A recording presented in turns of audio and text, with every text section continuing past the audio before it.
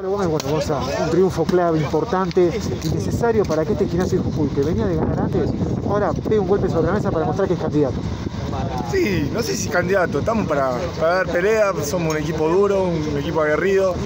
Creo que el equipo sigue yendo de, menor a mayor y creo que ganamos una cancha difícil y creo que hicimos un buen partido. De alguna manera el partido, al principio Chacarita quizás tenía la, iniciativa, ustedes quisieron acomodarse bien, pero a partir de, de la mitad del primer tiempo, sobre todo el segundo, se lo notó muy físico, se lo notó muy, muy metidos. Eh, quizás a Chacarita eso le costó un poco, ¿no?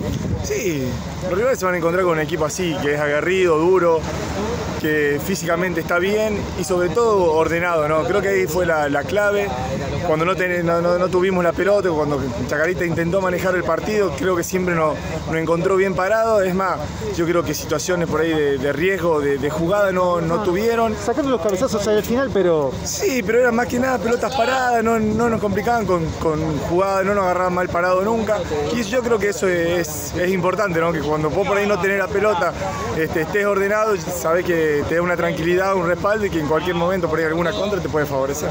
Sin duda es eso, como decíamos un poco antes, la contundencia y recién hablábamos con el flaco Virreira, lo pudieron haber definido antes incluso.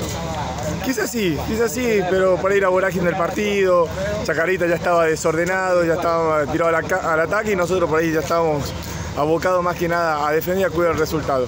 Quizás si hubiéramos sido un poquito más precisos lo, hubiéramos liquidado, pero más allá de eso yo, yo creo que, como dije recién, hicimos un partido inteligente y ordenado.